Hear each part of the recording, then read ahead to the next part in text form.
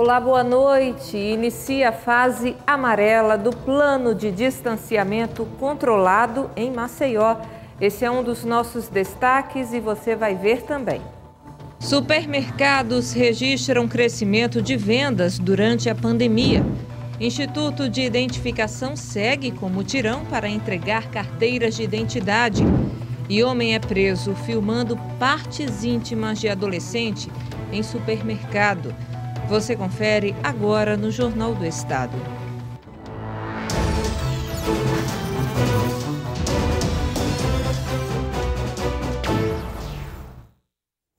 Iniciou hoje em Maceió a fase amarela do Plano de Distanciamento Controlado. Os repórteres Marcelo Moreno e Wellington Amâncio foram a alguns pontos da capital conferir esse retorno das atividades sob novas normas. Fiscais da Secretaria de Segurança Comunitária e Convívio Social demarcaram os espaços para barraqueiros na Orla. O modelo de organização atende à fase amarela do plano de distanciamento controlado. Dentro de cada conjunto, identificado por módulo, terá três barracas, com estruturas de mesas e cadeiras. E entre elas, haverá distância de 5 metros. Após este bloco de módulos estar organizado, será definida uma metragem de 20 metros livres para os banhistas, garantindo assim o acesso universal às praias. Um grupo de ambulantes estava insatisfeito com a reorganização. Eles alegam perca de clientes se deixarem os pontos que ocupavam antes. Meu ponto era aqui mesmo. Aí não sei onde vai ser o devido que eles vão botar, muito longe. E vamos ver aí no que, o que é que eles vão ver se a gente concorda. Porque esse, desse jeito que está aí, ninguém vai concordar a trabalhar dessa forma não, que eles querem.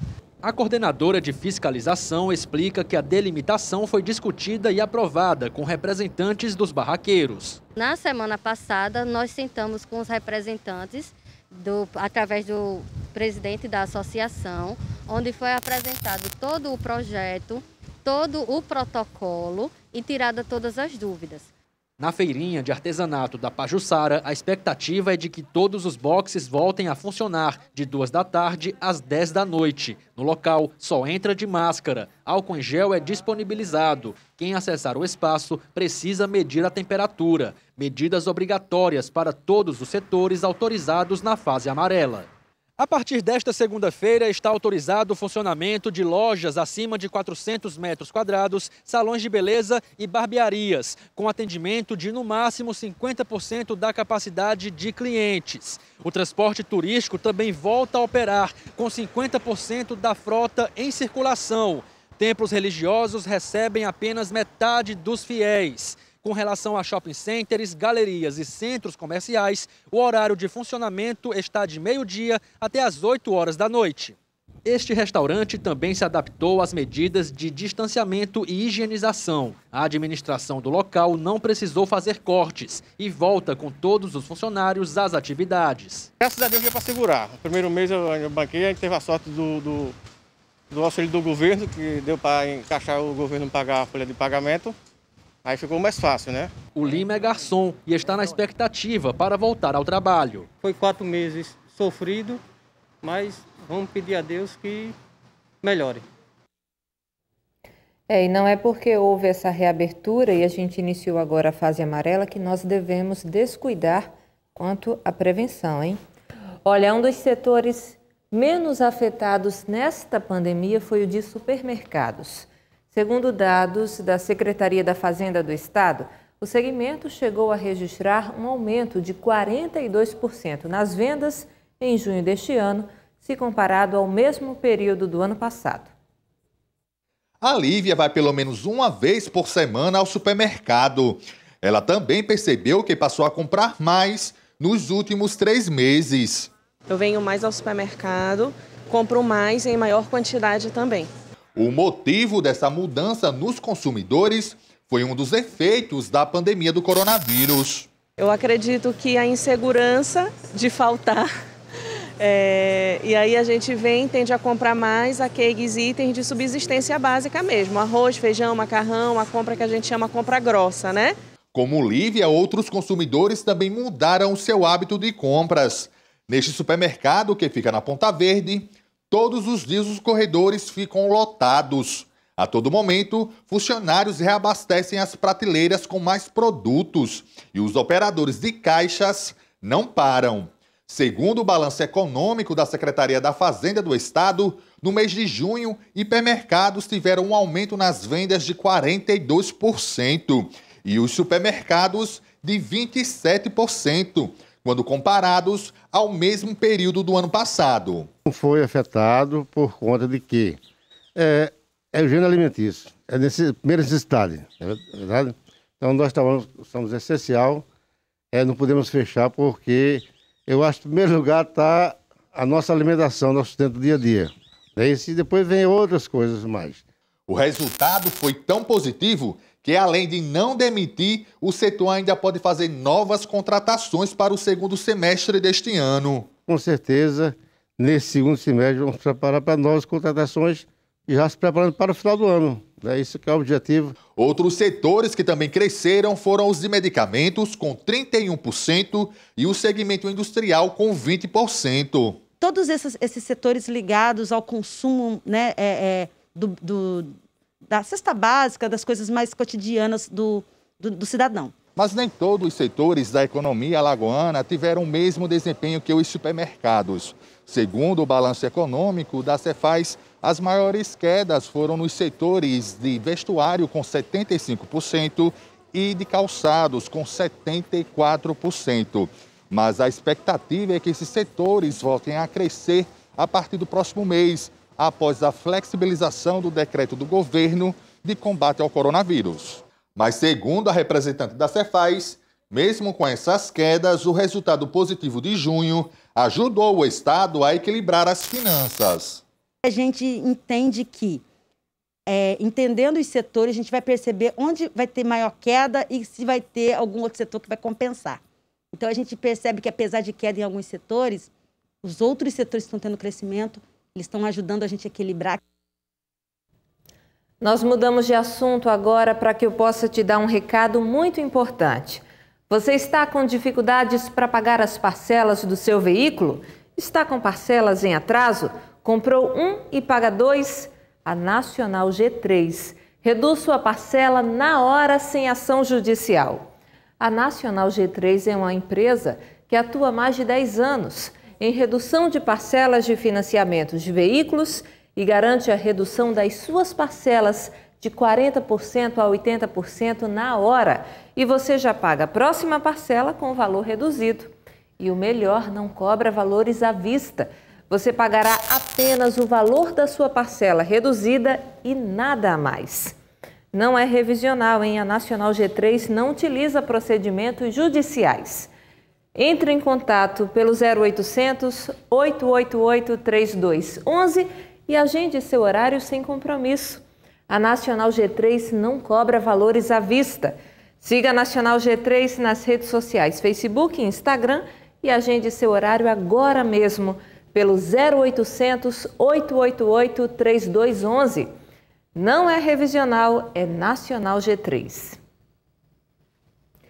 Segue até o dia 24 o mutirão para a entrega de milhares de carteiras de identidade que foram solicitadas antes da pandemia da Covid-19 em Alagoas.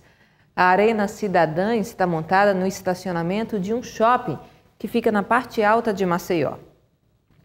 Esta mulher teve que esperar seis meses para conseguir pegar a carteira de identidade.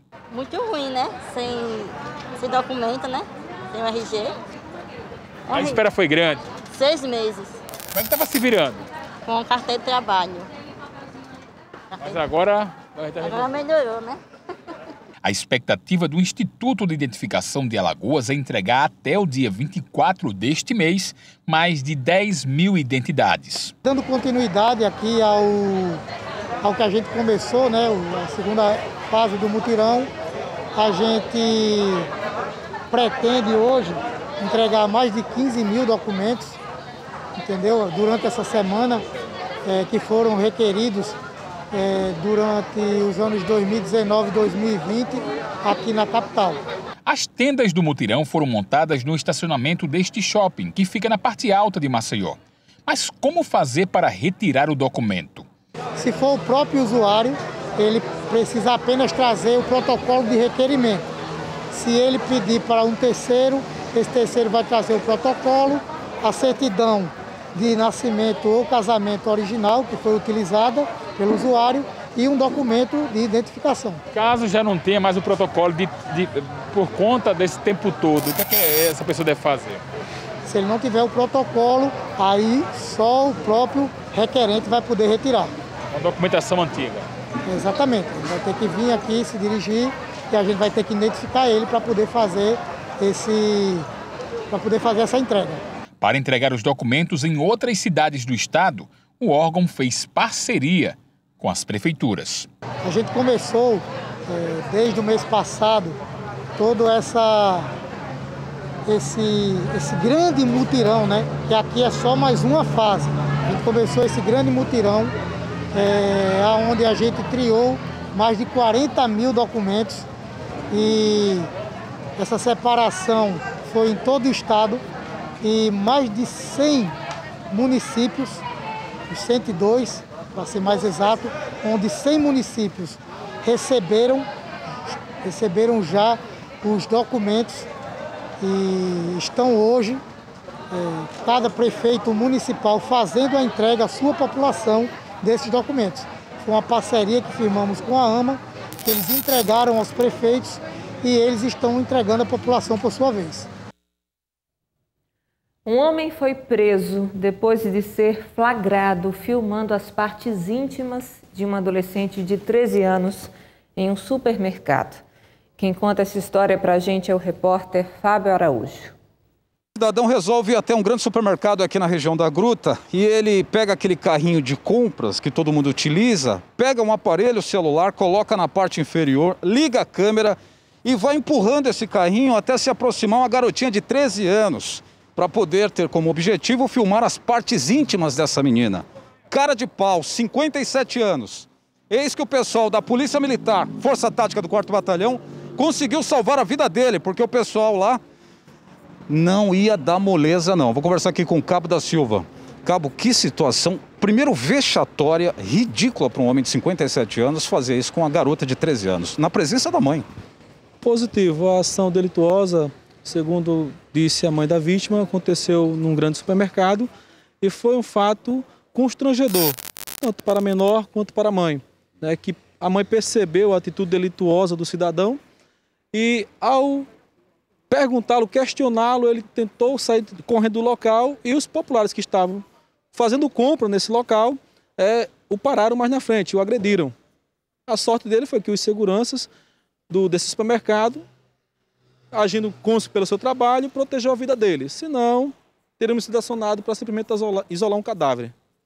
Muito provável. Agora, pai da menina, o irmão da, da, da, da menina, a mãe, constrangimento total. Um homem nessa idade entra no supermercado para fazer uma situação como essa. As pessoas que estavam no próprio supermercado ficaram indignadas, inclusive não só o segurança, como algumas delas vieram para a delegacia porque uh, viram uma, uma, uma, atitude vexatória, ridícula desse homem.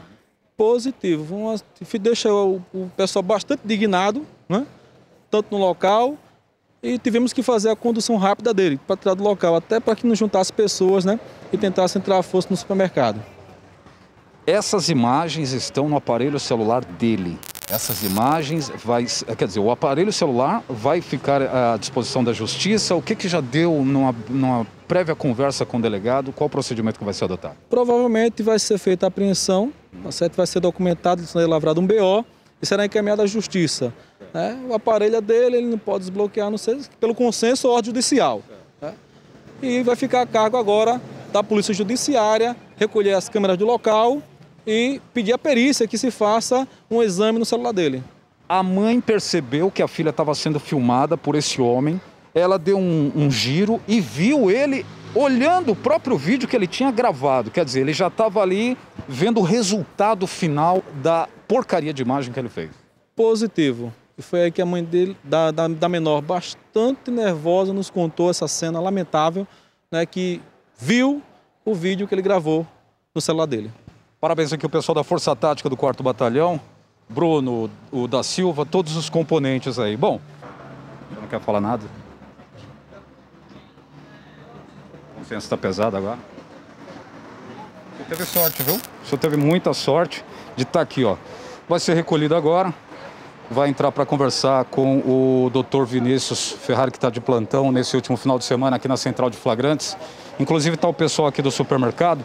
Eu vou aproveitar, ó, ele vai entrando aí, eu vou conversar aqui com conversar aqui com o irmão, não, a gente não vai identificar você.